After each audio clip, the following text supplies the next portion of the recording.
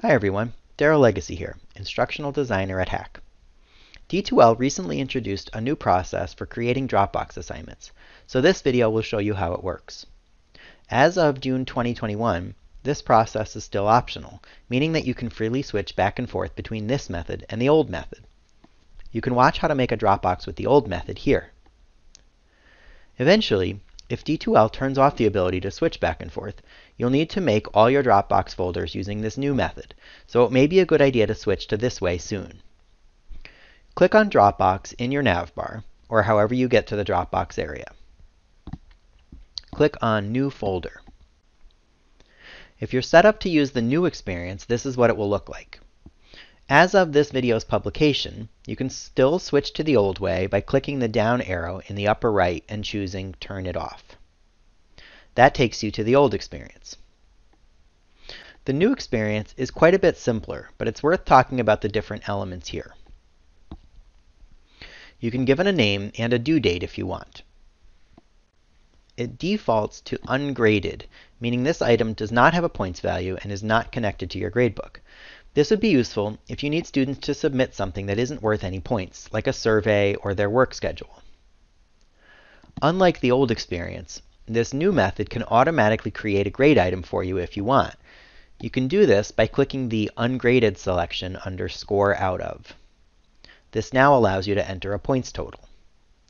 This item is now defaulting to in grades, meaning that D2L will automatically create a grade item with a matching name and points total in your gradebook. It will not be placed in a grade category. If you're using a weighted gradebook, D2L will determine this item's weight based on your overall weighting settings. If you click on In Grades, several options will appear. Click the first one, Choose from Grades. This opens a new pop-up window. Create and link to a new grade item is the default choice, the same as if you had not clicked on the In Grades box at all. But this window also gives you the option to place the item in an existing grade category if you want. If you've already created the grade item for this Dropbox folder, you can select the bottom radio button and it will let you choose the item that you want to connect. If you click In Grades again, you can also choose Remove from Grades. This works similarly to the way it was set up before you ever clicked the In Grades box. It's no longer connected to your gradebook in any way.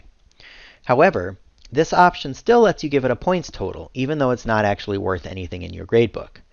This probably isn't the best choice, since your students may assume that it does count for something because of the points total. When it's set to not in grades, you can change it back by clicking on Add to Grades. Or, Reset to Ungraded sets it back to the way it was at the very beginning, where it isn't tied to anything in the gradebook and also doesn't have any point total. You can type instructions in the text box if you have any, and you can upload files or links using the icons at the bottom. You can also record short audio or video instructions if you want. The three large tabs on the right allow you to change all the other settings that you're used to from the old process. Availability dates and conditions is where you can set a start or end date and release conditions, or give users special access. It's important to remember that setting a due date alone doesn't stop students from being able to submit to this Dropbox. Only an end date can do that. A student who submits after the due date will be marked late, whereas if a student tries to submit after an end date, D2L will not let them. You don't need an end date in most situations, unless you have a policy where there's a hard cutoff after which assignments can't be submitted. Having a due date is useful, both to show you if a student should lose points for being late, and also because it will show up on a student's calendar as an upcoming assignment. The Submission and Completion tab lets you denote what kind of submissions are allowed, how many, and what happens if more than one is submitted.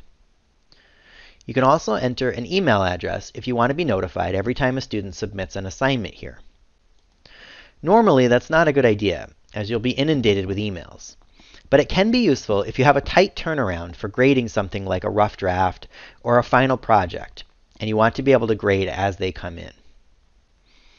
The Evaluation and Feedback tab allows you to add a rubric or learning objectives, and you can also turn on the annotation tools for writing and highlighting a student's document. This is on by default.